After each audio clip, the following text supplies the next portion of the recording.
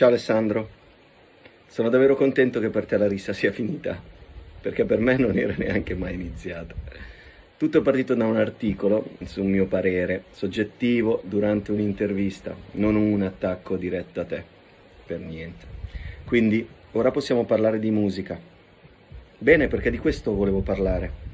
Amo la musica, vivo di musica da anni, tanti, tantissimi anni. Come te, tutti e due ne abbiamo viste di cose, concerti strepitosi, altri più o meno, chi se ne frega, e questa è la fortuna del nostro lavoro, giusto? Quindi parliamo di noi e della musica. Ti chiedo scusa in anticipo, te l'ho già detto, io la musica la vivo e la amo, quindi mi perdonerai, lo faranno tutti, che la risposta te la leggo. Ho voluto prendermi il mio tempo e fissare la risposta perché la musica merita rispetto e le giuste parole. Dai, partiamo e inizio con il ringraziarti dell'invito ai tuoi fan di smettere di scrivermi sulla mia pagina. Insulti e commenti pesanti. Ovvio che questo vale anche per i miei. Ragazzi e ragazzi, stop, davvero. So che è affetto e ne avete dimostrato tanto, ma me la cavo. Sono quasi 30 anni che sento le stesse critiche su di me. Ho le spalle talmente larghe che qualsiasi insulto mi scivola addosso senza lasciare effetti collaterali. Ho dormito sonni tranquilli, come sempre. Ho detto solo quello che penso e quando uno dice quello che pensa, può piacere o no, ma diventa sempre un motivo di discussione e di crescita. Questo sempre, con chiunque tu abbia a che fare. Anche con un bambino, anzi spesso di più con un bambino. Per la musica ho sempre la stessa gioia del bambino, anche se ormai sono cresciutello, un ragazzo che da 30 anni gioca nella Serie A della musica, tra successi o insuccessi, momenti sì e momenti no, tra hit da primi posti e come giustamente dici anche tu, Alessandro, canzoni che credevo avrebbero spaccato e poi non hanno fatto niente. Oggi ho deciso di giocare sempre in Serie A, ma di cambiare ruolo. Non vedo più in me il grande progetto pop come lo immaginavo su di me ai tempi. E quindi mi sono messo a fare l'allenatore. Quindi è nata la mia accademia, la Pop Music School.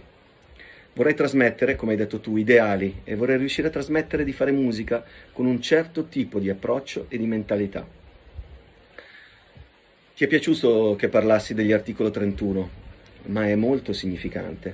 Ci sono alcune tra le mie origini, dicendo articolo 31 citi un'epoca, un luogo, un come, un quando e un con chi, esattamente come dire la cassettina di Radio DJ o le All Star o il Bomber ma come lo è anche Paolo Meneguzzi, per il suo pubblico, siamo brand a cui associ un'epoca, i primi amori, le sensazioni, le emozioni dell'adolescenza.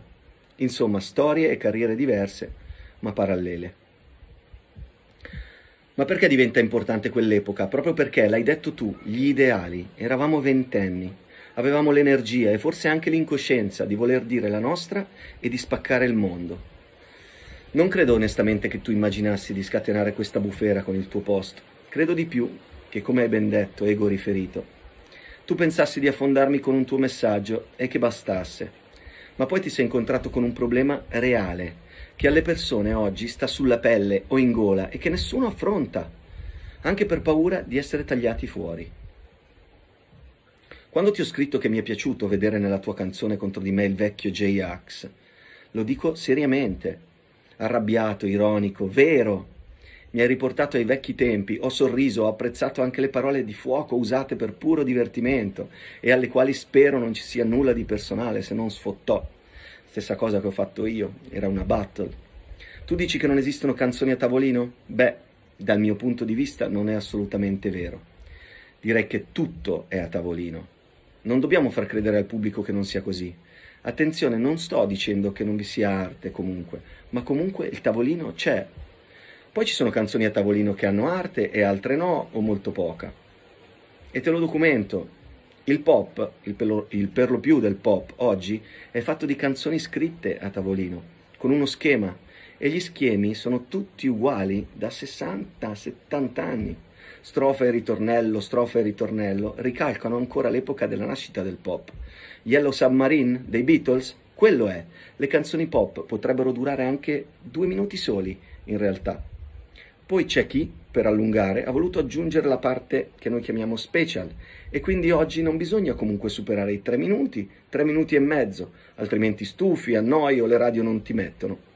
Ecco che con due elementi stiamo già parlando di costruzione a tavolino e non abbiamo ancora iniziato a scrivere che già molte volte si decide il produttore.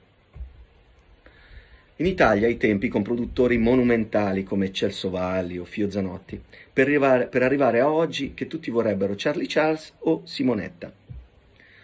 Ma la differenza è che una volta li pagavi e potevi averli i grandi produttori e affiancarli ai giovani. Oggi no, oggi c'è il privilegio di quelli che fanno parte di un giro o di un certo tipo di popolarità, perché anche questi eh, hanno, diventano popolari e non lavorano più per rischiare di sputtanarsi con i nuovi talenti, nemmeno se li paghi. E qui, caro Alessandro, arrivo al punto, e tu l'avrai già capito a questo punto dov'è il punto. Ma lo spiego al pubblico. Tu dici che non esistono canzoni a tavolino e ti sei offeso a morte, ci sta, è la tua idea. Non la mia, infatti guarda caso gli autori e i produttori di Disco Paradise sono gli stessi di Due vite di Mengoni, Tango di Tananai, Mon Amour di Annalisa, Notti in bianco di Blanco, Crisi di Stato di Fedez, Made in Italy di Rosa Chemical. Quindi di cosa stiamo parlando? Ce ne sono anche tante altre, non le elenco, le potete trovare. Di pop, che non è a tavolino? Questo pop non è a tavolino? Certo che è a tavolino voglio chiarire una cosa, non è che tutte queste cose, queste io le considero marchette, ma diciamo che il tuo discorso un po' troppo romantico sul successo va un po' a cadere. Quindi io non ci trovo nulla di così tremendo nella marchetta. Se poi ci metti una ricerca di identità, un messaggio nel testo, una faccia o una voce importante, musicisti importanti, tecnici importanti, studi importanti, beh, si somma arte su arte, e il progetto diventa di qualità. Non mi sorprende per niente che dietro un progetto pop ci sia un grosso investimento, come c'è stato su di me. Vai a vedere come e dove è stato fatto vero o falso, mixato negli studi Metropolis di Londra con Metao che ha vinto i Grammy Award con Lauryn Hill. Quindi prima di parlare di vero o falso il pubblico si dovrebbe un filo informare su cosa ci sia dietro vero o falso. E comunque avevo 25 anni. Sì, ero priorità Warner in America con Madonna. E allora? E allora? Come dicono gli articoli? Ma come c'è un grosso investimento su Justin Bieber o come c'è su Miley Cyrus, dove sta il problema? Quando poi ascolti il disco senti chi canta, come è registrato, da chi, e senti subito i problemi che ci sono invece in un'autoproduzione e capisci cosa significa e dove sta la differenza. Ed è una grossa differenza e credo tu lo sappia bene, per questo lo dico, per il pubblico. Il problema non è la costruzione artistica di un progetto pop, il problema è quando ci si avvicina di molto all'intrattenimento, che allora si perde l'arte. Tu dici, evviva, che non ci sono più i grandi papponi, i produttori, ma allora spiegami perché arriva l'autore o il produttore di fama o famoso di turno e gli si crea una lobby intorno, non si ascolta più nessuno e funziona solo quello? Funziona solo quello che fa quello. E qui mi lascia un discorso un po' più tecnico. L'Italia è un mercato importante discograficamente, ma non così grande da non poter essere manipolato. Cosa intendo per manipolato? Intendo che un grosso investitore o qualcuno che ha un grosso potere, che crea engagement, se si dedica alla musica può riuscire a muovere il flusso e determinare le mode della musica. Il problema è che quando il produttore non investe con un concetto di pop di qualità, perché forse non sa cosa significhi, o non viene da quella scuola, allora bisogna che glielo spieghiamo. Chi non ha questo bagaglio di esperienza non lo può immaginare e noi dobbiamo salvaguardarlo, perché prima i nostri produttori lo facevano e noi abbiamo imparato che cos'è la qualità. E torno al discorso delle autoproduzioni fatte in casa e mixate in casa in due ore, con produzione, mix e master, prodotto finito. Tu pensi che i Coldplay fanno un disco in due ore fatto in casa? O che il nuovo singolo dei BTS lo abbia fatto nella sua cameretta l'amico del cantante. Guarda che siamo a questi livelli. Eh? E credo che noi quarantenni, cinquantenni dobbiamo aiutare i ragazzi, aiutare i giovani e fargli capire, inculcar- inculcargli la mentalità del pop. A me spaventa molto che in Italia i vertici discografici, le radio, non ascoltino più la musica, che guardino i follower, che non sentano le esigenze dei giovani, che se ne freghino della qualità, che ti dicano non è importante che canti bene, l'importante è che sia trap, che dica parolacce, che se ne freghino di chi li ha suonati, di come sono stati suonati, dove e da chi. Questo non è amare gli artisti. Una volta era importante, credimi, faceva la differenza nel pop, perché non si sentiva ma si ascoltava la musica. Sembra che dobbiamo ridurci noi quarantenni a parlare come parlano i giovani per arrivare ai giovani? Dai, vai, prendi cash, porta Vax, prendi il mix, party dance. Ma il senso? Non suona da marchetta? Il fatto che le autoproduzioni fatte in casa di scarsa qualità diventino uno standard è molto grave non tanto per il pubblico, che il pubblico si prende quello che gli dai, ma perché il pubblico si perderà un sacco di cose belle, di crescita e di sperimentazione fatta da talenti e da talenti giovani. Questo non fa bene al pop e non fa bene alla musica o al futuro della nostra musica e dei nostri giovani. Infatti all'estero queste autoproduzioni non esistono, se non in rarissimi casi, ma non parliamo di pop. Ci deve essere una selezione e quando la scelta viene fatta perché si trova un'idea, un talento, un fenomeno, bisogna che questo sia prodotto con la massima cura, affidandogli un team adatto a lui, personale per lui e che lavori per lui e solo per lui, perché diventi un esempio importante, che abbia delle fondamenta, con un suono suo, riconoscibile, dove tutto sia curato, deciso e protetto. Questo è il pop. Altrimenti sai cosa succede?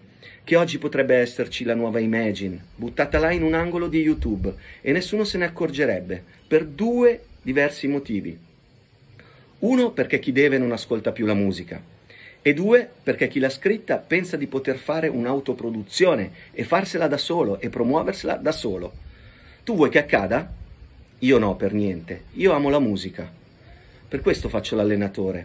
Per questo ho dedicato sei anni ad un film musicale Stars che finalmente uscirà a settembre, dopo migliaia e migliaia di ore di sacrificio.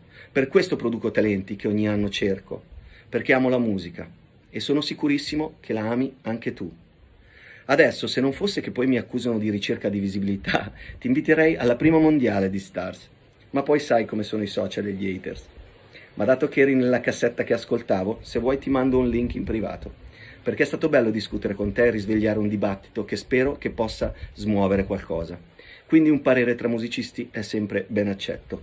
Ciao Alessandro, grazie di questo angolo d'estate, mi sono divertito.